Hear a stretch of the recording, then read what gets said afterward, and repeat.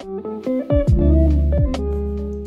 ragazzi, benvenuti sul mio canale. Nel video di oggi voglio darvi dei piccoli consigli su come trasformare il vostro spazio attraverso delle poche semplici regole in uno spazio accogliente in cui sentirvi sempre motivati e sereni.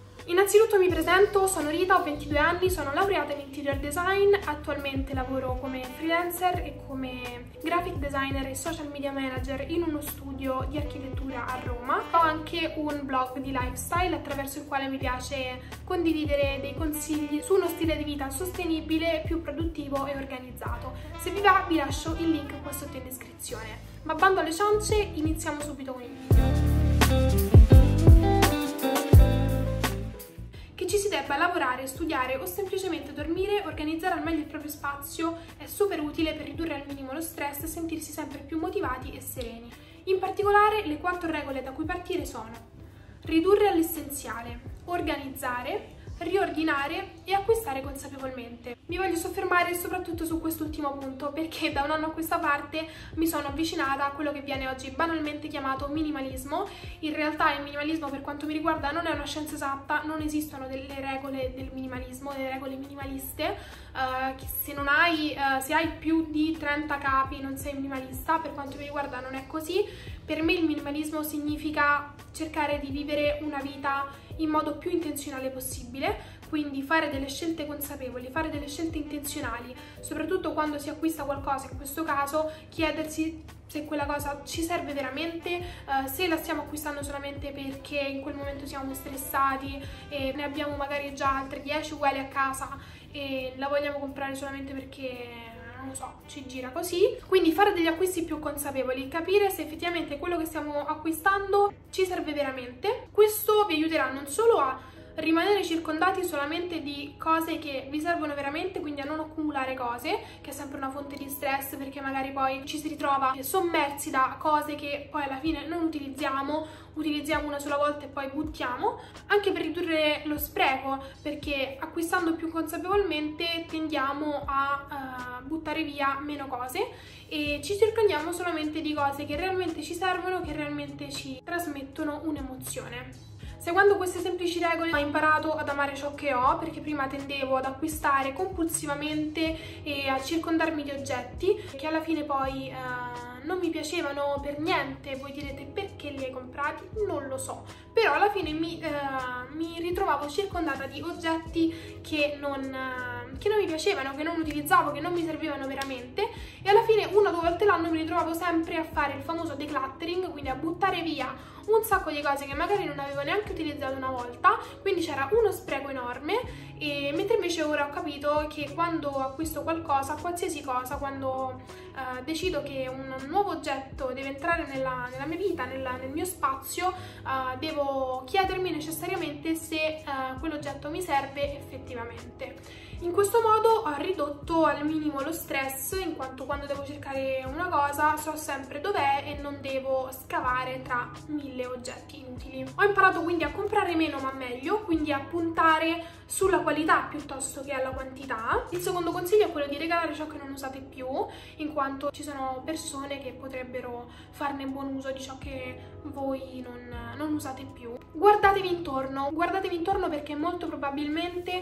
possedete già ciò di cui avete bisogno per organizzare il vostro spazio. Un altro punto a cui tengo tantissimo è quello di dimenticare la plastica. Ragazzi per favore siamo nel 2021 lo stiamo distruggendo questo pianeta. Scegliamo materiali più naturali ed ecosostenibili come il legno, il vetro, la ceramica non solo l'ambiente vi ringrazierà ma sono anche più belli da vedere molto più belli da vedere e quindi li potete lasciare in bella vista. Un'altra cosa che a me ha aiutato tantissimo è quella di creare una serie di abitudini quindi una routine una routine di abitudini veramente basiche e stupide come rifare il letto la mattina, che sembra veramente una cavolata, ma in realtà rifare il letto la mattina è dimostrato scientificamente che uh, rende le persone più sane, positive e più, con più successo. Appendere sempre la giacca, quindi riporre sempre la giacca nello stesso posto, evitare quindi di buttarla ovunque quando si torna a casa, così come riporre sempre le chiavi nello stesso posto. Quante volte vi è capitato di non trovare le chiavi?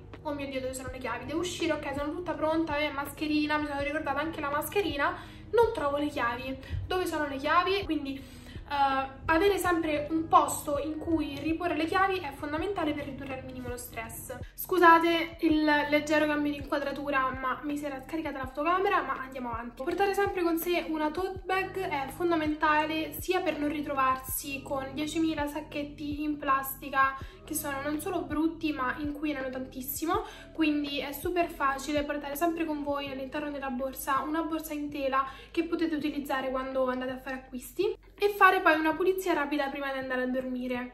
È una cosa banale, ma mettere a posto i panni che avete in giro nella stanza, magari sulla sedia, o le scarpe uh, in giro per la stanza, mettere a lavare i panni sporchi, mettere a caricare i dispositivi elettronici è super utile. Dunque, entriamo nello specifico e vediamo quali sono le semplici regole da seguire per avere uno spazio più organizzato. La prima regola è appendere appendere qualsiasi cosa, pensare come uno shaker, quindi riempire le pareti di barre eh, con pioli, ganci, è una soluzione super economica, super facile, eh, super bella che vi permette di tenere sempre tutto a portata di mano e sott'occhio in modo da non dimenticare di avere nulla. E vi lascio qui sotto in descrizione delle barre a parete che ho trovato io su Amazon. La seconda regola è trasportare, quindi portavivande, carrellini bar, sono perfetti per radunare e trasportare oggetti e all'occorrenza quando non avete bisogno o avete ospiti possono essere nascosti facilmente. La terza regola è quella di etichettare. Etichettare, ragazzi, io etichetto veramente qualsiasi cosa, la qualunque. Le etichette sono fondamentali per capire la collocazione di un oggetto. Potete stamparle, potete scriverle a mano, uh, potete utilizzare anche semplicemente il washi tape con un pennarello indelebile, quindi lo scotch di carta che sicuramente tutti avrete in casa. La quarta regola è quella che a me piace di più ed è quella di radunare sui vassoi. I vassoi vi permettono di radunare degli oggetti piccoli e sfusi di ogni genere, impedendo che si perdano e inoltre a me piace pensare al vassoio come una sorta di cornice per un quadro in quanto crea coesione e valorizza ciò che c'è all'interno. Appendere alla porta è un altro consiglio super utile in quanto possiede lo stesso vantaggio di appendere alle barre laterali delle pareti ma con un doppio vantaggio in quanto appendendo dietro la porta gli oggetti rimangono nascosti. Un altro consiglio è quello di nascondere i cavi. Ragazzi non c'è nulla di più brutto e fastidioso da vedere di mille cavi in giro intrecciati tra loro. Una soluzione facile può essere quella di una molletta di metallo o ancora uh, esistono delle piccole scatole che si vendono su Amazon, vi lascio il link qui sotto in descrizione, eh, che si ripongono nei cassetti con i cavi all'interno, sono fatte apposta. Altra regola che mi piace molto al pari di radunare nei vassoi e che possono essere anche uh, combinate è quella di creare dei kit. Quindi radunare tutti gli oggetti o i prodotti utili a un'azione ricorrente che può essere la beauty routine, il make up, lo yoga in uno stesso posto, che può essere anche un vassoio e in questo modo riducete al minimo lo stress, avete sempre a portata di mano quello che vi serve perché magari non dovete cercare in quella stanza quel determinato oggetto per quell'azione, nell'altra stanza quell'altro determinato oggetto sempre per la stessa azione, mentre invece avete per la stessa funzione tutti gli oggetti in un unico posto. Il nono consiglio è quello di coordinare, coordinare, quindi radunare oggetti della stessa categoria in uno stesso posto penso che abbiate capito che questa è la regola fondamentale, ma soprattutto abbinare loro un dispositivo di conservazione. Quindi ad esempio per i pantaloni le grucce in legno, per uh, le camicie le grucce bianche, poiché l'uniformità trasmette coesione e ordine mentale. L'ultimo consiglio, ma non meno importante, è quello di uscire fuori dagli schemi.